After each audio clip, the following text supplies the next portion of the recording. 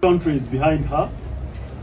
We also appreciate the Honorable Basalirwa and all members of Parliament for initiating and supporting this bill. After here, we are peacefully marching to Parliament to deliver our congratulatory message to the Speaker. And in days to come, the President.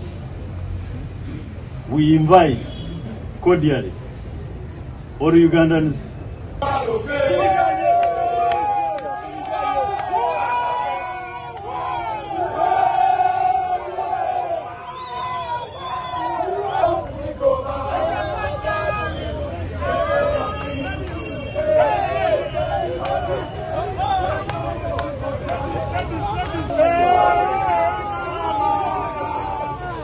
Para entrar na